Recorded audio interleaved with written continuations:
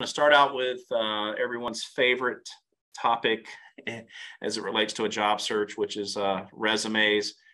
um, first and foremost, you know, what are the goals of a resume?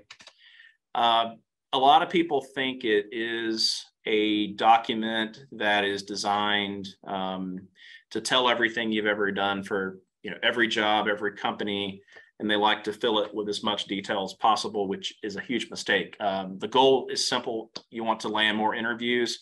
Think about it as, as kind of your marketing uh, document where you can showcase relevant, significant experience, skills, accomplishments that align with the type of opportunity that you're exploring. So, so that's the goal. It's a marketing document and, and you just want to land interviews. Um, and that's it. You know, you don't want to tell everything you've ever done.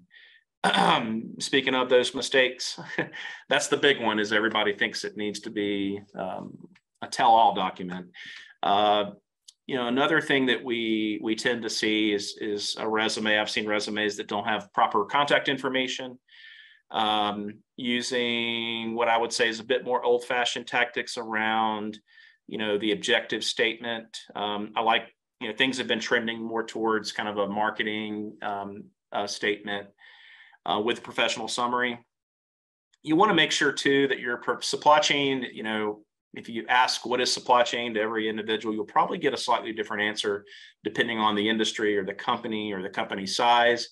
Um, but you know, you want to make sure you're showcasing, you know, the context. An example would be you're a distribution center manager and that's all you put on your resume. What would be helpful to know is what is kind of the size and scope of that facility whether it's square footage number of employees you know things of that nature level of automation. So it helps to kind of paint the story. So otherwise people like recruiters or hr managers or hiring managers may make some assumptions and what we're trying to do with a resume is is make it crystal clear what we do what we're trying to do what we've done in the past and ultimately what was the value that we delivered for our current and past organizations? Um, so make sure you're sprinkling that context in there and the right amount of keywords. Um, you want to be careful not to put too much graphics in there. You don't want to fo- put a photo of yourself. Sometimes i'll get resumes with headshots and you know that's not necessary. Now in other countries um, that is something that's more popular in the united states uh, not so much um, be, be careful with acronyms. There's a whole lot of acronyms in supply chain, but just assume that your audience may not be supply chain experts. Um, you know, it's taken me many years to learn a lot of this jargon. Lots of ambiguity. It's so thick you can slice it with a butter knife. So, you know, kind of, uh, I would say, dumb it down and err on the side of, of just assuming your audience uh, may need more context than not. Um, but be careful not to overdo it on on the on the uh, detail as well. Uh, putting personal information um, is not something you want to do either. Your, uh, you know, your hobbies. You know, employers really want to know, you know, your skills, experience, accomplishments. Again, the value that you can deliver that aligns with what they're trying to do or what problem they're trying to solve. Um, role, objectives, qualifications, and so forth.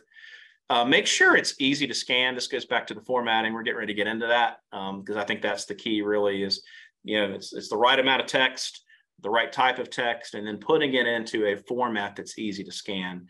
Uh, so you want to make sure you do that. Uh, a lot of people, again, you smack big stacks of paragraphs on two or three pages, and you're forcing someone to go through and read word for word, and, and, and that's a huge, huge mistake.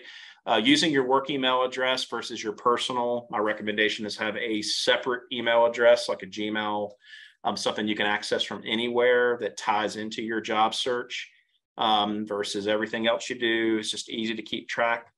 Uh, typos, uh, Word, you know, the um, the grammar check, spell check inside of Microsoft Word doesn't always do the trick. Best to have a second set of eyes. Send it to a few friends or colleagues or, or students, classmates, um, so you can get uh, you know someone to pick out those mistakes. Uh, a common one that I see is the word manger instead of manager. I'll see it all the time. Um, so uh, spell check's not going to pick that up. That's why it's always good to have a second set of eyes. Um, and over, let's see, a, a, big focus or overdoing it on listing out your task, your job duties. that's important, but you want to weave in and integrate accomplishments as well, because again, it's supply chain is all about creating value. And you want to make sure you're showcasing that, which is best to do in the form of accomplishments. Another big one, uh, segues right into quantifying those accomplishments, um, whether it's cost savings, percentage points. I saved this, I improved this process. Well, what what did that equate to?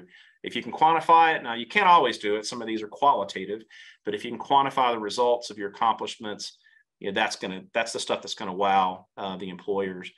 Uh, a one size fits all resume, you know, sometimes if you're you, know exactly what you want to do, I'm going to work in transportation the rest of my career. You can probably get by. But if you're a broader supply chain and maybe you're open to different types of functions or different types of industries, you know, sometimes it warrants having maybe, you know, two or three different resumes. So be thinking again, match the hatch, you know, what are they looking for? Um, you know, in terms of the job description and showcasing or elevating that relevant experience that aligns with the type of role, um, function, or, or, or, industry as well. Um, again, avoiding stacks of paragraphs, um, and then just you know anything that's unprofessional, like an email. I've seen some crazy email address addresses. Um, anything that's unprofessional, you want to stay clear from. So those are some of the common resume mistakes.